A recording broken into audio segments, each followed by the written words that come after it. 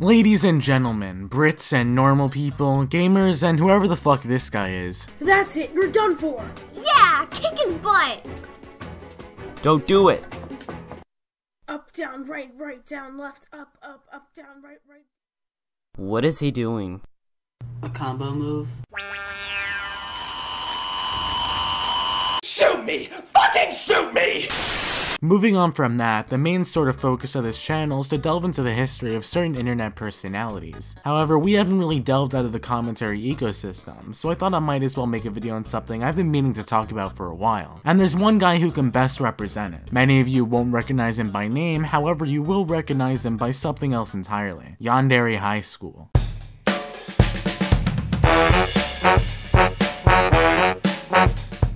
So for those of you who are still clueless about what I'm talking about, don't worry because we're going to get into it soon, but we're going to have to deliver some exposition for the man behind the Minecraft skin before we delve into his legacy. Sam England, or as most people online will know him as Sam Gladiator, started his YouTube channel back in January of the ancient year of 2008. Now if you know Sam for anything, it's for his Minecraft videos, but if you do 2 seconds of googling, you're going to realize Minecraft wasn't released until halfway through 2009. So what was Sam doing for these beginning years? Like many young teenage boys, Sam Gladiator was playing Halo.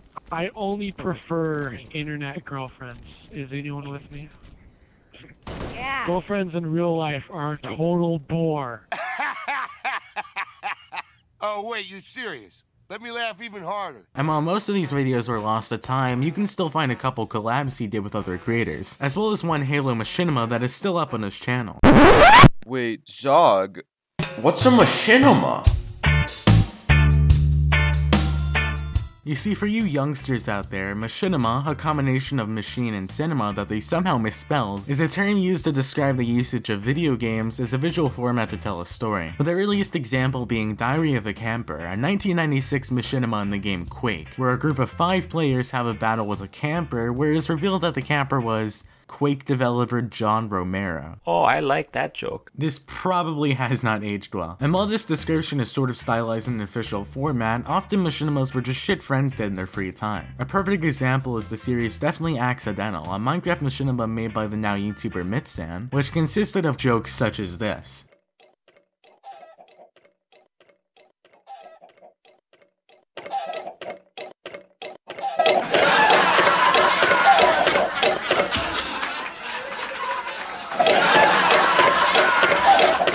Guys, sex is funny.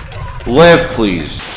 This is where Sam comes onto the scene, with him making Minecraft machinimas with his friends Zycron and Taurtis. This is where Minecraft started to get increasingly popular, with creators like Skydoes Minecraft, Bajan Canadian, and Minecraft Universe becoming virtual superstars. And with machinimas becoming increasingly more professional, Sam moved towards more general Minecraft content with people like Einstein and the Fear Raiser, with some non-Minecraft content sprinkled in here and there. One of the bigger channels at the time, the Yogscast, started to mess with the concept of interactive storytelling, where a story was told in inside of a video game through the player's actions with it. Sam saw this and was inspired by it, trying it out for himself in a series called Minecraft Adventure, with people such as Gizzy Gazza and SGC Barbarian featuring in certain mini sagas. The most important series out of this experimentation would have to be his Five Nights at Freddy's one, with him toying around with using Google Trends to specifically craft shows that would generate the most popularity, and it succeeded with this one in particular, with the first video of the series currently sitting at nearly 3 million views, which would lead him to try this format again with another game that was becoming extremely trendy at the time,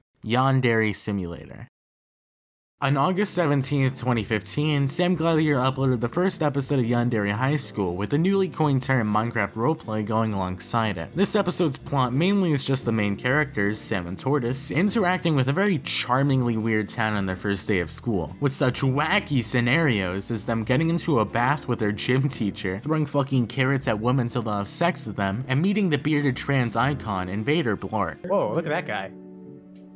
Girl? That's a girl, dude. That's a girl? That's a woman? Well, often I would um, just spend time, you know, thinking to myself what the story is going to be. And then, you know, maybe four hours before a recording, I would get all of the crew and all of the actors and stuff together.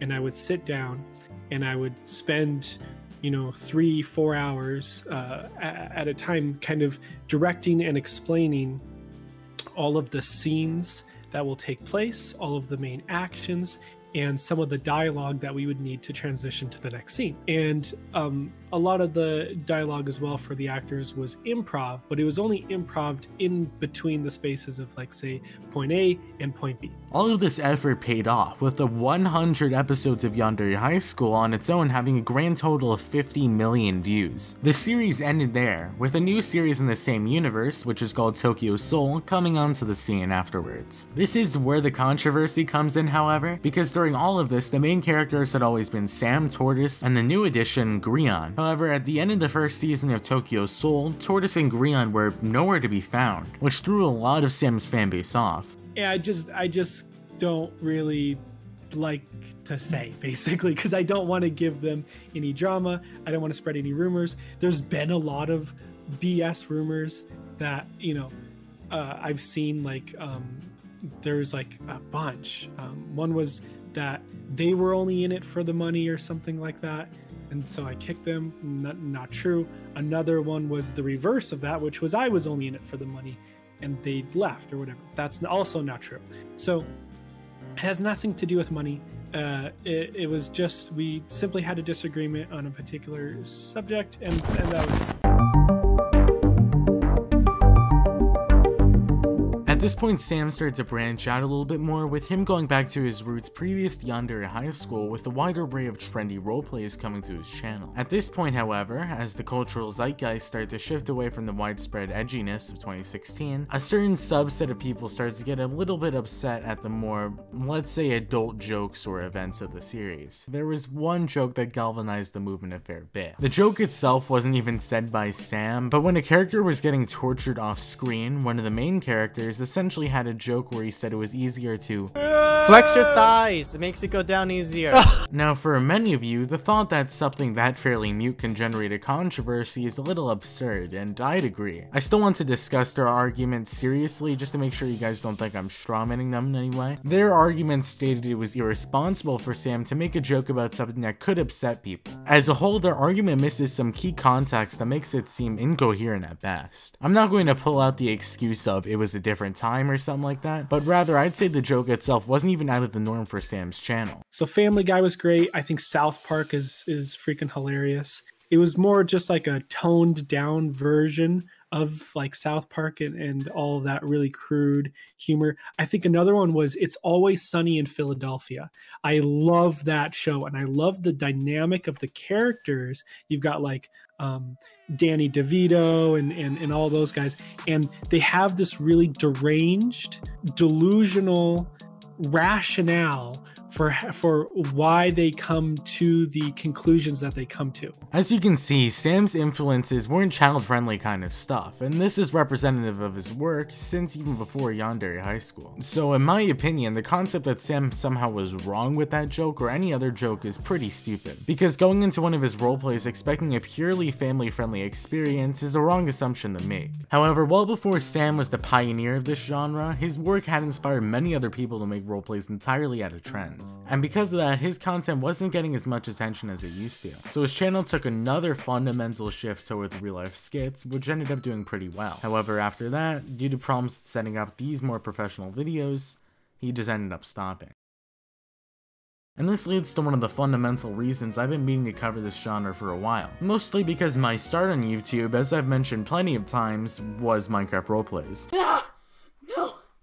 My ego! Sam Gladiator in particular I'd always been a big fan of back in the day, and his Yandere High School videos always fill me up with a sense of nostalgia that's really hard to capture. So being able to speak to him to make this video is honestly one of the crazier experiences I've had on this channel. And after speaking to Sam and learning more about the behind the scenes of content that really influenced my career, it only made sense to use him as the focus of this homage to my old content. And while the mainstream opinion of Minecraft roleplays is that they're cringy, which if we're being completely honest here isn't entirely undeserved, if you ask the same person about Sam Gladiator in particular, a lot of them will separate him from the rest of the chaff because his content was so different and influential for the time, even for people that were never really into the genre in particular. Sam Gladiator, and more specifically Sam Gladiator's work, will remain an integral piece of the puzzle of 2010's YouTube, and in all honesty, who would want anything else? I wanna go where the sunset is